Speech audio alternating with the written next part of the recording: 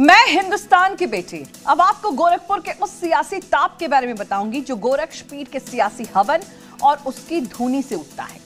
मैं हिंदुस्तान की बेटी, आपको गोरखपुर के उस सियासी सफ़र पर ले चलती हूँ, जो गोरखनाथ मंदिर के सियासी ध्वज से शुरू होता है। मुख्यमंत्री योगी का गोरखपुर की माटी से अटूट नाता है।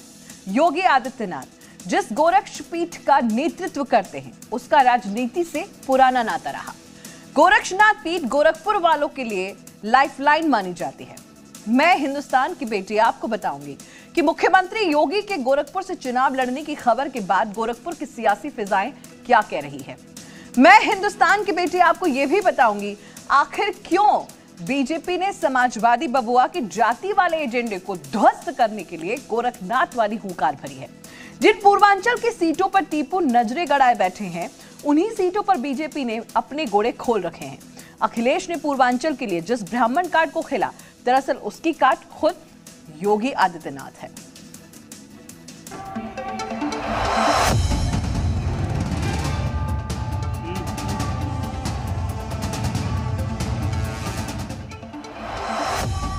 योग की धरती पर योगी का राण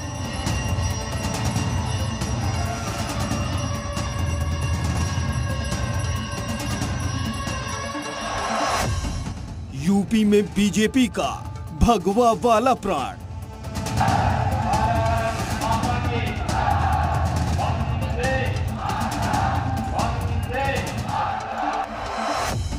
योगी को गुरु गोरक्षनाथ का आशीर्वाद।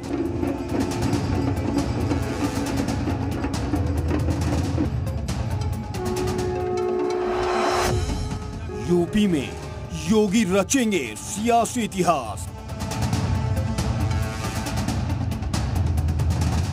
जिस धरती ने दुनिया को योग का पाठ पढ़ाया, जहाँ की माटी ने तपस्या का ज्ञान बताया, जहाँ के कण कण में शक्ति का वास है, जहाँ भक्ति ही विश्वास है, उसी गुरु गोरक्षनाथ की धरती पर अब योगी की परीक्षा है।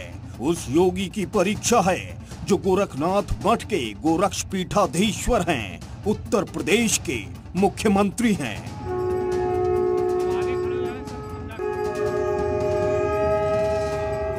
यूपी में चुनावी रणभेरी बच चुकी है।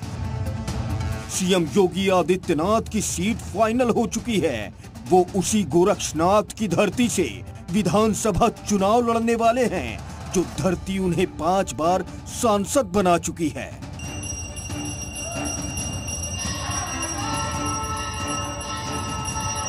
सीएम योगी का गोरखपुर की माटी से अटूट नाता है। योगी उसी गोरखनाथ मठ के गोरक्ष पीठाधीश्वर हैं, जिसके नाम पर गोरखपुर नगर का नाम पड़ा। गोरखपुर का ऐतिहासिक और धार्मिक महत्व है। गोरखनाथ मंदिर गुरु गोरक्षनाथ की तपस्थली है। माना जाता है, गुरु गोरक्षनाथ कांगड़ा स्थित ज्वाला देवी के दरबार से भ्रमण करते हुए यहाँ आए थे। यहाँ रुककर उन्होंने धूनी रमाई और फिर यहीं के होकर रह गए। ये धूनी आज भी मंदिर में जल रही है। नाथ पंथ की योग परंपरा के कारण ये पीठ पूरी दुनिया में अपनी अलग पहचान रखता है।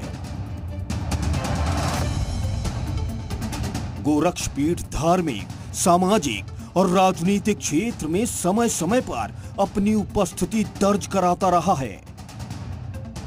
योगी आदित्यनाथ जिस गोरक्ष पीठ का नेतृत्व करते हैं, उसका राजनीति से पुराना नाता रहा है। साल उन्नीस सौ सड़सठ में इस पीठ के तत्कालीन महंत दिग्विजयनाथ हिंदू महासभा के टिकट पर सांसद बने थे।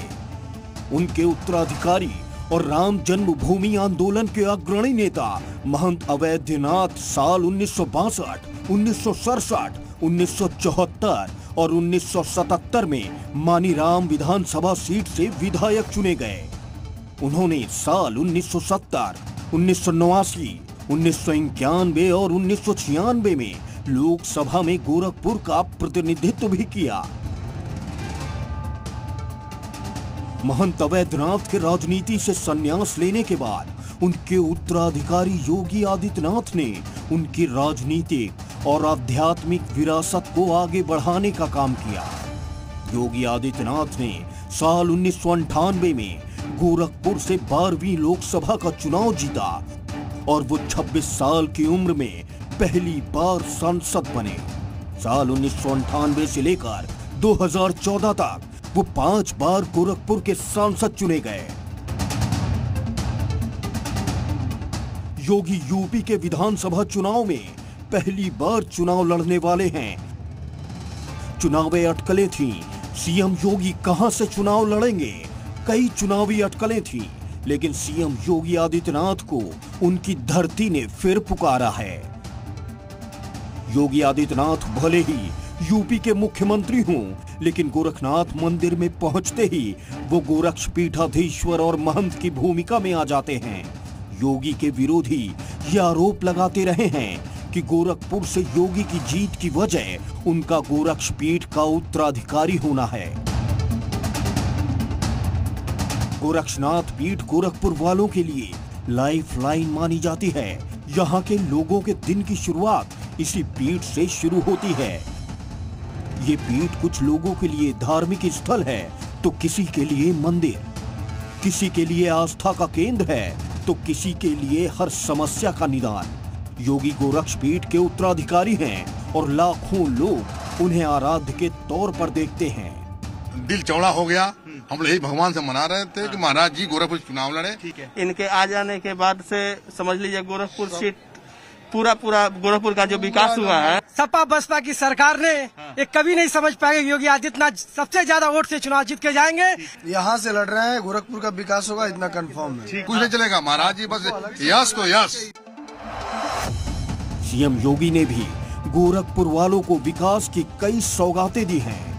बतौर सांसद, बतौर मुख्यमंत्री, उन्होंने विकास की कई बातें लिखी। विकास के साथ साथ योगी ने गोरखपुर में हिंदुत्व की भी अलग अलग जगाई। कई चौक चौराहों और बाजारों से मुगलिया नाम की प्लेट हटाकर हिंदुत्ववादी नाम चस्पा किए। इस बार उत्तर प्रदेश में सियासी जंग कांटे की टक्कर होने का अनुमान है। एक तरफ़ सीएम योगी की भगवा ब्रिगेड है तो दूसरी तरफ़ अखिलेश की लाल टोपी वाली सेना। अखिलेश यादव ने इस बार अपने सियासी एजेंडे को नई धार देने की कोशिश की है। यादव मुस्लिम वोटों के अलावा ब्राह्मण वोटों पर भी बबुआ की नज़र है। इसीलिए बबुआ परशुराम की पूजा भी कर चुके हैं और वर्षा भी उठा चुके हैं। जहाँ तक ब्राह्मण समाज का आ, सवाल है बड़ी संख्या में समाजवादी पार्टी से पहले भी विधायक मंत्री और स्पीकर तक रहे इधर बड़ी संख्या में लोग जुड़े हैं और अगर वो नारे लगे हैं तो उन्हीं के बीच से नारा निकला है और नारा तभी लगता है जब वो लोग समर्थन कर अखिलेश हरिशंकर तिवारी को अपने खेमे में जोड़ चुके हैं। हरिशंकर तिवारी पूर्वांचल की सियासत में बड़ा ब्राह्मण चेहरा है। पूर्वांचल की सियासत में तिवारी परिवार का रसूख कम नहीं है। उनके बड़े बेटे कुशल तिवारी संत कबीर नगर से दो बार सांसद रहे तो छोटे बेटे विनय शंकर तिवारी चिल्लू पावर सीट से विधायक हैं। पूरा तिवारी कुनबा इस बार साइकिल की सवारी कर रहा है और बीजेपी के खिलाफ हुंकार भर रहा है। सरकार ने जो पाँच साल का कार्यकाल है सरकार का केवल बिखराव के अलावा, समाज में टूटन के अलावा और कोई कार्य करने का काम नहीं किया। और सबसे बड़ा कार्य यदि किया उन्होंने तो लोगों को बांटने का और प्रचार प्रसार करने का। जिन पूर्वांचल की सीटों पर टीपू नजरे गड़ाए बैठे हैं, उन्हीं सीटों पर बीजेपी ने भी अपने घोड़े खोल रखे हैं। अखिलेश ने पूर्वांचल के लिए जिस ब्राह्मण कार्ड को खेला है, उसकी कार्ड खुद योगी आदित्यनाथ हैं। अब जब योगी गोरखपुर से चुनाव लड़ेंगे और अपनी धरती से विरोधियों के खिलाफ हुंकार भरेंगे तो उसकी गूंज पूरे पूर्वांचल में सुनाई देगी। Bureau report Zee media. Uttar Pradesh में बीजेपी जिस विकास के मंत्र को फूंक कर जीत का बेगुल बजाना चाहती है, उस विकास पथ को देखने के लिए गोरखपुर में बदलाव की कहानी जाननी ज़रूरी है। गोरखपुर से मुख्यमंत्री योगी पाँच बार सांसद रहे और पिछले पाँच सालों से प्रदेश के मुख्यमंत्री भी हैं। गोरखपुर से उनका नाता पुराना है। मैं हिंदुस्तान की बेटी। आपको बताऊँगी जिस जगह से सीएम का दिली रिश्ता है, वहाँ की तस्वीर पिछले पाँच सालों में कितनी बदली। बीजेपी उत्तर प्रदेश में पिछले पाँच सालों से चौतरफा विकास का दावा कर रही है और विपक्ष उन दावों को सिरे से नकार रहा है। मैं हिंदुस्तान की बेटी, आपको बीजेपी के दावों की सच्चाई बता रही हूँ। और अखिलेश के इरादों की वो परत भी, जिसे तैयार करने के लिए उन्होंने जाति वाला तिकड़म चलाया। गोरखपुर का विकास, योगी फैक्टर का कमाल।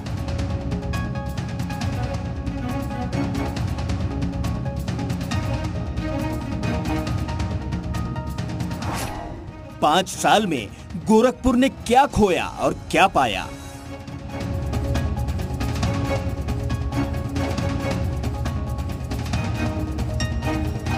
पाँच साल में कितनी बदली गुरु गोरक्षनाथ की धरती।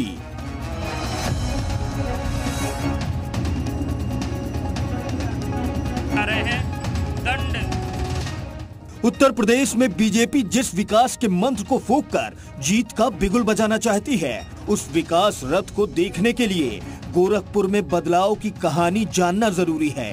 गोरखपुर से सीएम योगी पाँच बार सांसद रहे और पिछले पाँच सालों से प्रदेश के मुख्यमंत्री हैं। गोरखपुर से उनका नाता पुराना है। बीजेपी, यूपी में पिछले पाँच सालों में चौतरफा विकास का दावा कर रही है। और अखिलेश यादव उन दावों को सिरे से नकार रहे हैं। तो ये योगी नहीं है। नहीं नहीं ये योगी नहीं है। उत्तर प्रदेश के लिए अनुपयोगी है। बताओ अनुपयोगी है कि नहीं? है जिन्होंने बिजली का बिल बढ़ा दिया हो वो अनुपयोगी है कि नहीं है? ये सब घोषणावीर हैं। इनके पास कहने के लिए कुछ नहीं है करने के लिए कुछ नहीं है। जब कोई भी औज़ार और कोई भी शस्त्र इनके पास नहीं तो उसके बाद फ्री फ्री फ्री की बात करते हैं। फ्री हमने किया है। जहाँ आवश्यकता थी हमने किया है। एक तरफ़ अखिलेश यादव सीएम योगी पर हमलावर हैं तो दूसरी तरफ़ भगवाधारी मुख्यमंत्री ने टीपू की पूरी सेना को निशाने पर ले रखा है। योगी आदित्यनाथ ने अपने सियासी सफ़र की शुरुआत गोरखपुर से की थी और इस बार यूपी के महासंग्राम में वो गोरखपुर से ही विधानसभा का चुनाव लड़ रहे हैं। बतौर सीएम योगी आदित्यनाथ ने गोरखपुर के विकास की गाथा में कई बड़े बड़े अध्याय जोड़े। गोरखपुर के विकास के लिए उन्होंने जो कदम उठाए, वो अपने आप में मील का पत्थर साबित हो रहे हैं। सीएम योगी ने पिछले पाँच सालों में गोरखपुर के विकास के लिए क्या किया, ये जानना बेहद ज़रूरी हो जाता है, क्योंकि विकास के दम पर ही सियासी जीत की पटकथा लिखी जाती है। आइए जानते हैं सीएम योगी की गोरखपुर को दी गई दो सौगातें, जिनका फ़ायदा पूरे पूर्वांचल को हो रहा है। सीएम योगी ने 31 साल से बंद पड़े गोरखपुर खाद कारखाने को दोबारा शुरू किया। योगी के इस ड्रीम प्रोजेक्ट का उद्घाटन करने के लिए प्रधानमंत्री नरेंद्र मोदी पूर्वांचल आए थे। हिंदुस्तान उर्वरक और रसायन लिमिटेड द्वारा निर्मित इस खाद कारखाने से हर साल 12.7 lakh metric tonne neem coated urea का उत्पादन होगा। 1990 में एक हादसे के बाद बंद हुए इस कारखाने को शुरू करने के लिए सीएम योगी ने बतौर सांसद हमेशा अपनी आवाज़ बुलंद की। और सीएम बनने के बाद खाद कारखाने के शुरू होने में हर बाधाएँ दूर हो गई आज उत्तर प्रदेश में जो डबल इंजन की सरकार चल रही है, वो बीते कालखंड में समय का जो नुकसान हुआ है, उसकी भरपाई में भी जुटी है। हम डबल स्पीड से काम कर रहे हैं। योगी आदित्यनाथ के मुख्यमंत्री बनने के साथ ही गोरखपुर में साल 2017 से चिकित्सा और स्वास्थ्य के क्षेत्र में बड़ा परिवर्तन दिखाई पड़ने लगा। गोरखपुर बस्ती मंडल के लोगों के इलाज के लिए एकमात्र बीआरडी मेडिकल कॉलेज था, जो खुद बीमार था। लेकिन योगी राज में इस मेडिकल कॉलेज का कायाकल्प कर दिया गया। गोरखपुर को विश्व स्तरीय सुविधा वाले एम्स की सौगात के साथ पूरब में मेडिकल सेवाओं का नया सूर्योदय हुआ। जरा सोचिए, योगी के पहले ना किसी सरकार ने खाद कारखाने की सुध ली और ना किसी सरकार ने एम्स के बारे में सोचा। लेकिन सत्ता संभालने के बाद महाराज ने इस दावे को सच कर दिखाया कि डबल इंजन सरकार में विकास की गंगा बहती है। फ़िलहाल अब सीएम योगी अपनी गोरखपुर वाली ज़मीन से हुंकार भरेंगे। सीएम योगी ने अपनी धरती से विरोधियों के दांत खट्टे करने की योजना बना ली है। सीएम योगी को गोरखपुर शहर सीट से पार्टी की ओर से उम्मीदवार बनाए जाने पर अभिनेता और सांसद रवि किशन ने खुशी ज़ाहिर करते हुए बम्पर वोटों से चुनाव जीतने का ऐलान भी कर दिया है। समस्त पूर्वांचल में आप देखिएगा, भारतीय जनता पार्टी का एक ऐतिहासिक परचम लहराएगा। पूज्य महाराज जी का ये अनाउंसमेंट इतना बल दे दिया है, समस्त पूर्वांचल को, समस्त उत्तर प्रदेश को, जिसका मैं अब मैं निशब्द हूँ। गोरखपुर के बीजेपी सांसद रवि किशन के भोजपुरी रैप सॉन्ग यूपी में सब्बा भी रिलीज़ हो गया है। रवि किशन के इस गाने में योगी राज में हुए विकास का गान है। बीजेपी यूपी का चुनाव विकास के पथ पर अपना रथ चलाकर जीतने की कोशिश में है। लेकिन अखिलेश ने जाति वाला जो हथकंडा अपनाया है, उसकी काट के लिए बीजेपी ने सीएम योगी को गोरखपुर से मैदान में उतारकर लाल टोपी वाले बबुआ और पियरका चाचा का पूर्वांचल में खेल खराब कर दिया है। Bureau report, we media. Uttar Pradesh में चंद्रशेखर आज़ाद ने अखिलेश यादव पर बड़ा हमला बोलते हुए आरोप लगाया कि वो सामाजिक न्याय को समझते ही नहीं। आज अखिलेश और चंद्रशेखर की पार्टी के बीच गठबंधन टूट गया। भीम पार्टी 10 सीटें मांग रही थी, जबकि टीपू सिर्फ़ दो सीटों पर चंद्रशेखर को टरकाना चाहते थे। अब चंद्रशेखर हैदराबादी भाईजान के साथ मिलकर साइकिल को पंचर करने में जुट गए हैं। मैं हिंदुस्तान की बेटी, राष्ट्रवाद में आप, आज आपको बताऊँगी कि अगर भीम और मीम की जोड़ी जम गई तो पहले ही चरण में साइकिल पंचर हो सकती है। पश्चिमी यूपी में एक तरफ़ भगवतहरी खेमा, पलायन, अली और बजरंग बली की राजनीति को हवा दे रहा है दूसरी तरफ़ अखिलेश यादव मुसलमानों और जाटों के सहारे सत्ता का ख्वाब देख रहे हैं। मैं हिंदुस्तान की बेटी, आज आपको बताती हूँ कि पहले चरण में भगवा खेमे के सामने चुनौती क्या है और अखिलेश क्या साइकिल को पंचर होने से बचा पाएँगे?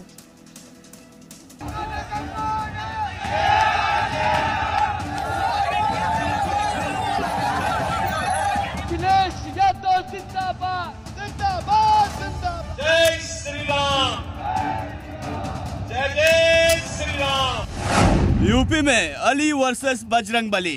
भारत माता की। तुम इस हिस्सेदारी की लड़ाई लड़ोगे मीम के साथ आए भीम। क्योंकि जब हमारे आंदोलन की विचारधारा बदली। मीम भीम की जोड़ी किसका बिगाड़ेगी काम? उन्होंने भरोसा करके यूपी के युद्ध में अखिलेश से मिलने के बाद जब भीम पार्टी के नेता चंद्रशेखर आज़ाद मीडिया के सामने आए तो टीपू पर बयानों के ऐसे वाण चलाए कि ललका सेना हक्की पक्की रह गई। चंद्रशेखर आज़ाद यूपी में दलितों की राजनीति करते हैं और दावा कर रहे हैं कि अखिलेश उन्हें लंबे अरसे से गठबंधन की गोली दे रहे थे। लेकिन जब गठबंधन का मौका आया तो अखिलेश ने गच्चा दे दिया। हम सब लोग भाजपा को रोकने का प्रयास कर रहे थे। मैं समय तक यहाँ पीठ के दर्द के बाद भी दो दिन से हूँ कि किसी तरह से बात सकारात्मक हो जाए, लेकिन कल आने के बाद उन्होंने कहा था कि मैं शाम तक बताता हूँ, उनका जवाब अभी तक नहीं तो मैं समझता हूँ कि वो इस गठबंधन में दलित समाज के लोगों को नहीं चाहते। रामपुर मनिहारन वाली सीट छोड़ दी और साथ ही साथ गाजियाबाद भी सीट मैंने दी। दो सीटें पूरी दे दी गई थी, उसके बाद उन्होंने किसी को फ़ोन मिलाया अब वो फ़ोन किससे बातचीत हुई ये मैं नहीं जान सकता। और उसके बाद वो आए कि मेरा संगठन मेरे खिलाफ है, मैं चुनाव नहीं लड़ सकता हूँ। और मैं चुनाव नहीं लड़ूँगा, ये बात हुई थी। टीपू से मिले घात के बाद घायल चंद्रशेखर आज़ाद ने समाजवादियों को खूब खरी खोटी सुनाई और उन्हें दलित विरोधी करार देते हुए हमला बोला कि अखिलेश यादव को दलित नेता कबूल नहीं है। उनकी नज़र सिर्फ़ दलितों के वोट पर है। अंत समय में मुझे लगा कि अखिलेश जी को दलितों की ज़रूरत नहीं है। वो इस गठबंधन में, वो इस गठबंधन में दलित नेताओं को, दलित लीडरशिप को नहीं चाहते। अब चंद्रशेखर आज़ाद अपने कोर दलित वोट बैंक के साथ मीम पार्टी के नेता असदुद्दीन ओवैसी के साथ नए गठबंधन में चुनाव में उतरने की तैयारी कर रहे हैं। ओवैसी इस बात के संकेत पहले भी देते आए हैं। उनके कार्यकर्ताओं को कई बार दलित मुस्लिम भाई भाई के नारे भी लगाते देखा गया है। नारे तकबीर! दरअसल दलित और मुस्लिम वोट बैंक पश्चिमी यूपी में बड़ा सियासी उलटफेर करने की क्षमता रखता है। इसी समीकरण के दम पर मायावती यूपी में राज करती रही हैं। लेकिन देखना यह है कि असदुद्दीन ओवैसी के साथ चंद्रशेखर के जुड़ने से क्या दलित और मुस्लिम यूपी में एक नई सियासी ताकत बनाएँगे? कभी लिंचिंग के नाम पर खास तौर से मुस्लिम और दलितों को निशाना बनाया जाता है। जुल्म करने वालों के खिलाफ कभी कोई एक्शन नहीं लिया जाता। बयान देते हैं मंदली से एहतजाज करती है तो रस्मी तौर पर दिल्ली की पुलिस उनको गिरफ़्तार करती है। और 24 घंटे के अंदर उनको बेल दी जाती है। हालाँकि ओवैसी की पार्टी कल पहली लिस्ट जारी करने वाली है। अब देखना है कि लिस्ट जारी करने से पहले भीम और मीम के गठबंधन का ऐलान होता है या फिर दोनों एक दूसरे के कैंडिडेट को समर्थन देते हैं। लेकिन दोनों के मिलन का सबसे ज़्यादा झटका किसको लगने वाला है? ज़ाहिर सी बात है, जिस 20 फ़ीसदी वोट बैंक पर ओवैसी की निगाहें हैं, उसी वोट बैंक से टीपू को सबसे ज़्यादा उम्मीद है। अगर चंद्रशेखर के मिलने से यूपी की 20 सीटों पर भी भीम और मीम मिलकर बड़ा खेला कर देते हैं तो अखिलेश के लिए मुश्किलें और बढ़ जाएँगी। तुम क्या दोगे? तुम ग्यारह फ़ीसद यादव हो। हम उन्नीस फ़ीसद मुसलमान हैं। अगर तुम तुम मुख्यमंत्री बने और जनाब मुलायम सिंह बने तो मुसलमानों की वोट की खैरात से बने तुम याद रखो यूपी में पहले चरण के चुनाव का आगाज़ पश्चिमी यूपी से होना है, जहाँ अखिलेश ने अपनी साइकिल पर जाट मुसलमान और पिछड़ों को बिठाने की फितरत में नए नए गठबंधन बनाए हैं। लेकिन बीजेपी इस इलाके में लड़ाई अली बनाम बजरंग बली की बनाकर 80-20 वाला दांव चल रही है, ताकि बहुसंख्यक हिंदुओं के समर्थन के दम पर वो 2017 वाला करिश्मा दोहरा सकें। लोनी से बीजेपी के प्रत्याशी नंद किशोर गुर्जर ने अखिलेश यादव और उनके गठबंधन पर प्रहार करते हुए नारा दिया है कि लोनी में न अली न बाहुबली सिर्फ़ बजरंग बली। लोनी में ना अली ना बाहुबली लोनी में सिर्फ़ बजरंग बली। जय जय श्री राम। दूसरी तरफ़ योगी सरकार ने समाजवादी पार्टी के कैराना से प्रत्याशी नाहिद हसन को गिरफ़्तार किया है नाहिद वही नेता है, जिस पर दंगा जीवियों और पलायनवादियों को बढ़ावा देने के आरोप हैं। पश्चिमी यूपी में पलायन बड़ा मुद्दा रहा है। अखिलेश यादव जहाँ हिंदू मुसलमान सबका वोट मांग रहे हैं तो बीजेपी हिंदुओं को बार बार संकेत दे रही है कि वो तिक्रमी टिकैत और साइकिल सवार डकैतों के बहकावे में न आए, वरना रिवर्स पलायन की खुशी 10 मार्च के बाद कायम नहीं रह पाएगी। गौर कीजिए कि जिस कैराना से योगी राज के पहले लोग अपना घर बार औने पौने दाम में बेचकर भाग जाते थे, अब वहाँ रिवर्स पलायन हो रहा है। क्योंकि योगी हैं तो मुमकिन है। मैं फिर इस कस्बे के सभी लोगों को इस बात के लिए आश्वस्त करता हूँ कि वे बेझिझक यहाँ पर अपने पूर्वजों की भूमि पर रहें, यहाँ की विरासत को संरक्षण करना और साथ साथ यहाँ के व्यापारिक और औद्योगिक माहौल को और तीव्रता के साथ आगे बढ़ाने के लिए सरकार हर प्रकार का सहयोग करेगी।